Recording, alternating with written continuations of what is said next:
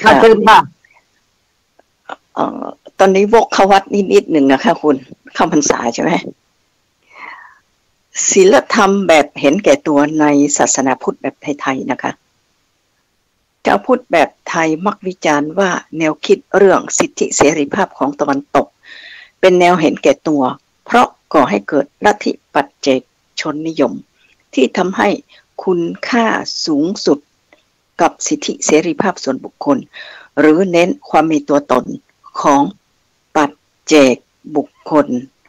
ปัจเจกบุคคลนั่นคือเฉพาะตัวบุคคลนะคะ เมื่อมีตัวตนก็ยึดถือตัวตน จึงทำให้เกิดความเห็นแก่ตัวและ เมื่อเห็นแก่ตัวก็ยึดถือผลประโยชน์ ส่วนตนในการตัดสินถูกผิดทางศีลธรรม คือถ้ากระทำที่ก่อให้เกิดประโยชน์แก่ตนเองก็ บอกว่าเป็นการกระทำดี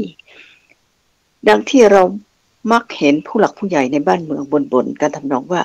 คนทุกวันนี้มันเห็นแก่ตัวเอะอะอะไรก็เรียกร้องสิทธิเสรีภาพ แต่ไม่ถามบ้างว่าหน้าที่ของตนคืออะไร จะเอาแต่สิทธิเสรีภาพแต่ไม่ยอมทำหน้าที่ และแล้วพวกเขาก็เทศนาต่อไปอีกว่า แนวคิดเรื่องสิทธิเสรีภาพอาจไม่เหมาะกับสง สังคมไทยอุ้ยอุ้ยอุ้ยอุ้ยเพราะทำให้คนเห็นแก่ตัว ไม่รู้จักหน้าที่ สังคมไทยเรามีลักษณะพิเศษคือให้ความสำคัญกับหน้าที่มากกว่าสิทธิเสรีภาพ ตายแล้ว เช่น หน้าที่ของพ่อแม่ครูอาจารย์ หน้าที่ของลูกศิษย์หน้าที่ของผู้ปกครองผู้ใต้ผู้อยู่ใต้ปกครองหน้าที่ของทุกคนที่ต้องจงรักภักดี ต่อสถาบันชาติศาสนาพระมหากษัตริย์เป็นต้นไอ้นี่เป็นลมเลยนะคะคุณ แต่ถ้า ถ้าแต่ละคนทำหน้าที่ของตนให้ถูกต้องบ้านเมืองก็จะสงบสุข แต่ทุกวันนี้มันวุ่นวายเพราะอะไรคะเพราะท่านไม่ทำหน้าที่ของท่านให้ถูกต้อง ใช่ไหม แต่อันที่จริงตามแนวคิดเรื่องสิทธิเสรีภาพของตะวันตกนั้น เราไม่สามารถแยกสิทธิเสรีภาพของเราออกจากสิทธิเสรีภาพของคนอื่นนะคะ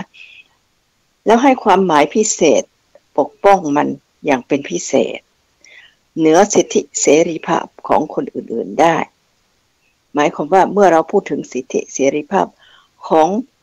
เฉพาะแต่ละคนเท่ากับพูดถึงสิทธิเสรีภาพของบุคคลอื่นด้วยนะคะ ในฐานะที่เขาเป็นมนุษย์ และความเป็นมนุษย์ของทุกคนย่อมเสมอภาคกัน ฉะนั้นสิทธิเสรีภาพที่ทุกคนมีภายใต้ ระบบสังคมการเมืองจะต้องมีสิทธิเสรีภาพที่เท่าเทียมกันนะคะ ไม่ใช่ ฉันมีสิทธิ์เหนือเธอ ฉันทำอะไรก็ได้ไม่ผิด พวกเธอเป็นราษฎร พวกเธอผิดตลอดไอ้นี่ไม่ถูกนะคะคุณเราจึงไม่อาจใช้สิทธิเสรีภาพของตนโดยไม่เคารพสิทธิ เสรีภาพของผู้อื่น ไอ้นี่เจ้าฟังให้ดีนะคะ และสิทธิเสรีภาพของเราจะมีได้ก็ต่อเมื่อได้รับการเคารพ โดยคนอื่น เช่นกัน ถ้าคุณถ้าชาวบ้านไม่เคารพคุณก็จบนะคะคุณ พูดง่ายๆคือสิทธิเสรีภาพของแต่ละคน จะมีได้เพราะว่าทุกคนมีหน้าที่เคารพสิทธิเสรีภาพของกันและกันนะคะ เราเคารพเขาแต่เขา ไม่เคารพเราเขาเหยียบหัวเราเอาเราไปขี้ฝุ่นใต้ตีนมันไม่ถูกเมื่อเป็นเช่นนี้กันปกป้องสิทธิเสรีภาพของตนเอง ย่อมเท่ากับปกป้องสิทธิเสรีภาพของคนอื่นๆด้วย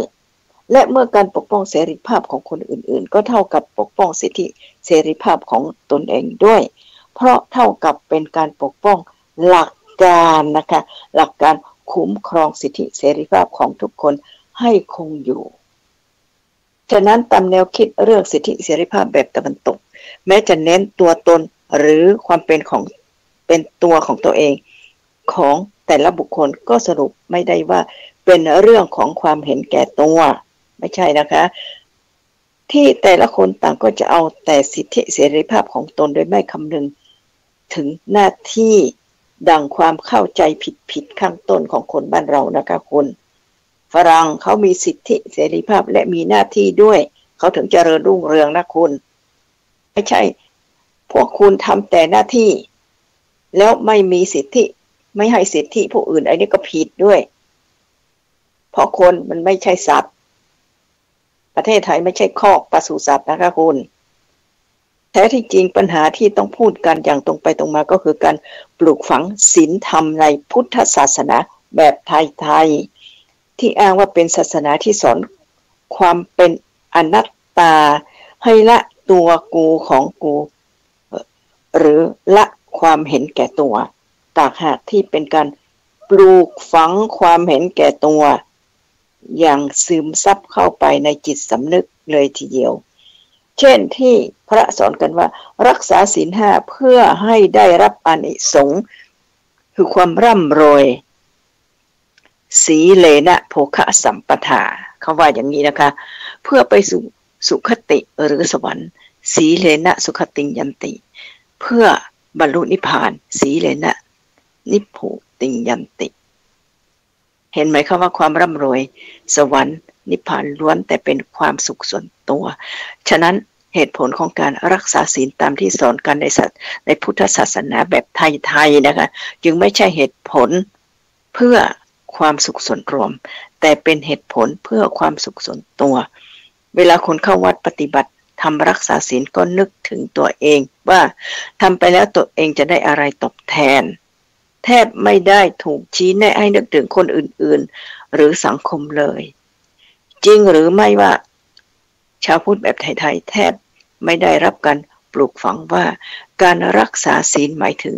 การทำหน้าที่ปกป้องสิทธิของคนอื่น หรือปกป้องความสงบสุขของสังคมเลย ถ้าพิจารณาตามแบบแผนของการปลูกฝังศีลธรรมแบบนี้ ก็หมายความว่าการกระทำความดี หรือการเป็นคนดีมีศีลธรรมจะส่งผลให้ได้รับความสุขส่วนตัว เท่ากับเป็นการทำความดีเพื่อหวังรางวัลตอบแทนส่วนตัวทั้งนั้น และหากเป็นคนช่างคิดหน่อยก็จะเห็นว่า รางวัลตอบแทนส่วนตัวนั้นก็ไม่ต่างอะไรกับรางวัลจากการถูกหวย เพราะดูเหมือนว่าระหว่างการกระทำความดีกับรางวัลตอบแทน จะไม่มีความสัมพันธ์เป็นเหตุเป็นผล แก่กันเลย เช่น ถ้ารักษาศีลห้าจะเป็นสาเหตุให้ร่ำรวยได้อย่างไร ถ้าไม่ทำธุรกิจหรือทำงาน จะเป็นเหตุให้ไปเกิดในสวรรค์ได้อย่างไรไอ้นี่คุณพิสูจน์ได้อย่างไรคะและยิ่งเมื่อพิจารณาดูการโปรโมทการกระทำความดีในพุทธแบบไทยๆล้วนแต่สามารถจะมีอนิสงส์อย่างยิ่ง ยิ่งกว่าถูกหวยซะอีกนะคะ เพราะการทำความความดีด้วยการให้ทานรักษาศีลเจริญภาวนาย่อมเกิดอานิสงส์คือรางวัลตอบแทนส่วนตัว อย่างวิจิตพิสดารยิ่ง เช่นทำความดีด้วยการให้ทานรักษาศีลเจริญภาวนา แล้วจะส่งผลให้รวยสวยหล่อหรือเจริญด้วยรูปสมบัติ ทรัพย์สมบัติ หรือได้ยศถาบรรดาศักดิ์เกียรติยศชื่อเสียง มีคนรัก มีคนเมตตาเงินทองไหลมาเทมา อันนี้ก็งงและงืดมาก ๆ นะคะคุณ เอาเอาดดิฉันเลยก็ขอ ขอจบแค่นี้ค่ะ เดี๋ยวจะหาโอกาสมาต่อ เชิญค่ะ พี่ดอกแก้ว เชิญค่ะ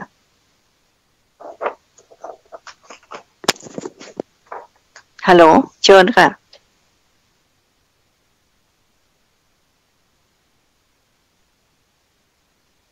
ฮัลโหล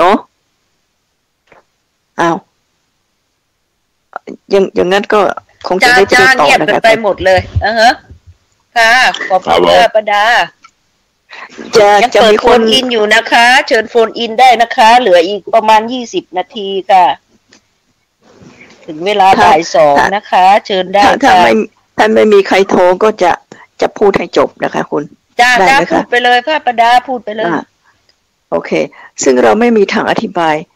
ได้ว่าระหว่างการทำความดีด้วยการใช้ทานรักษาศีลเจริญภาวนานั้น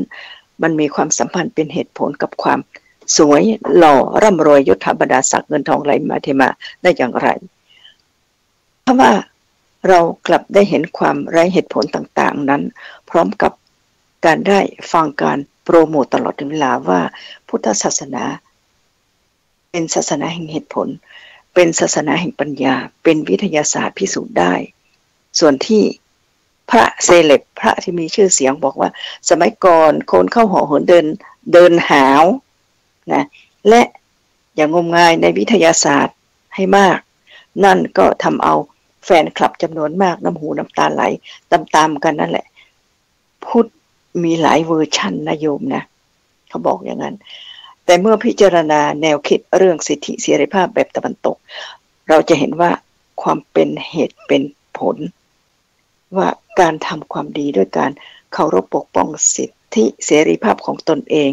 และของกันและกัน และหรือการปรับใช้หลักสิทธิเสรีภาพ กับทุกคนอย่างเท่าเทียมกัน ย่อมก่อให้เกิดผลดีคือความยุติธรรมนะคะคุณสังทางสังคมการเมือง ซึ่งมีความยุติธรรม ทางสังคมการเมืองดังกล่าวคือ ขั้นพื้นฐานหรือขั้นต่ำสุด ในการปกป้องความเป็นมนุษย์นะคะคุณ ของเราหมายความว่า หากเรามีความเป็นมนุษย์ในมาตรฐานขั้นต่ำสุดนี้แล้วเราก็สามารถพัฒนาความเป็นมนุษย์ในมิติในมิติต่างๆ ให้งอกงามต่อไปได้ง่ายขึ้นนะคะ แต่ภายใต้แบบแผนการปลูกฝังศีลธรรมของพุทธศาสนาแบบไทย ที่อ้างว่าเป็นศีลธรรมแห่งการละความเห็นแก่ตัว นั้น โดยข้อแท้จริงแล้วกลับเป็นศีลธรรมที่มุ่งทำดี เพื่อความสุขส่วนตัวและหวังผลการทำความดีแบบถูกหวย หรือเกินจริงอย่างยิ่ง เพราะผลแห่งการทำดีไม่ใช่มุ่งให้สังคมดี หรือมีความยุติธรรมแบบแนวคิดตะวันตกนะคะ แต่เป็นผลตอบแทนส่วนตัว ที่วิจิตพิสดารยิ่งตั้งแต่สวยรวยหล่อยรติยศเกียรติปัสจากโรคาพยาธิ กระทั่งไปเกิดบนสวรรค์ เป็นเทพบุตรมีนางฟ้าห้าร้อยเป็นบริวาร แต่ไม่ยักยักกมีนางฟ้าที่มีเทพบุตรห้าร้อยเป็นบริวาร อันนี้ก็งงเหมือนกัน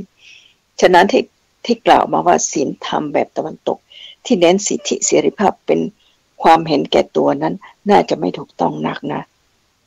ศีลธรรมในพุทธศาสนาแบบไทยๆตากหากที่เป็นศีลธรรมแบบ เห็นแก่ตัว และยังเป็นความเห็นแก่ตัวอย่างไรเหตุผลอีกด้วย นึกนึกดูพุทธพุทธสลัดทิ้งทุกสิ่งเพื่อแสวงหาสัจธรรม และอิสรภาพของชีวิต การทำดีของพุทธ การใช้ชีวิตแสวงหาสัจธรรม และผลตอบแทนคืออิสระเสรีภาพของชีวิต แต่พุทธศาสนาแบบไทยๆกลับอ้างอิงสิ่งที่พุทธ สลัดทิ้งแล้วเช่นความมั่งมี ยศบรรดาศักดิ์มาเป็นอานิสงส์หรือผลตอบแทนในการกระทำความดี การทำความดีหมายถึง ไปสู่จุดสุดท้าย อันที่เป็นพันธนาการของชีวิต นี่คือความคิดผิดเพี้ยนของศีลธรรมและพุทธศาสนาแบบไทยๆนะคะ ไอ้นี่ดิฉันก็ มาอ่านบทความของอาจารย์ท่านหนึ่ง แต่ต้องขอโทษที่ไม่สามารถออกชื่อท่านได้ เพื่อความปลอดภัยของท่านนะ อันนี้บทความนี้เมื่อเจ็ดปีที่แล้วแล้วค่ะ สมัยสมัยโน้นก็ยังไม่ศาสนาพุทธก็ยังไม่เละเทะถึงเหมือนปัจจุบันนะคะคุณ อันนี้ก็เหมือนกับเป็นการพูดล่วงหน้าไว้แล้วค่ะ แล้วคุณคิดยังไงคะ ทางบ้านดิฉันนะคะ ก็บอกว่า เอออย่าอย่าไปวัดเลย มันมีรูปใครไม่รู้อยู่ในวัดนะเขาก็ไปอยู่ ไปไปไปพอหนักๆเขาก็มีรูปพระราชินีองค์ใหม่ติดเลิกเข้าวัดเลยค่ะคุณ คือมันมันเป็นอะไรที่เกินไปใช่ไหมคุณ เกินไป มันเป็นวัฒนธรรมสร้างใหม่นะคะ ที่เอารูปของกษัตริย์ เข้าไปอยู่ในวัดสมัยก่อนแต่ดั้งแต่เดิมมันไม่มีหรอกค่ะ มันเพิ่งจะมี เพื่อให้กดหัวคนกราบ ยังไม่พอ กดหัว พระให้กราบ คนธรรมดาด้วย อันนี้มันไม่ถูกนะคะคุณ แล้วเจ้าอาวาสค่ะและพระตั้งหลายค่ะ ยกรูปออกไปเถอะค่ะ อยากกราบคนที่ที่ไม่มีศีลไม่มีธรรมเลยค่ะ ขอให้วัดเป็นวัดเหมือนเดิมจะดีที่สุดค่ะ ก็ขอพูดแค่นี้นะคะ สวัสดีค่ะ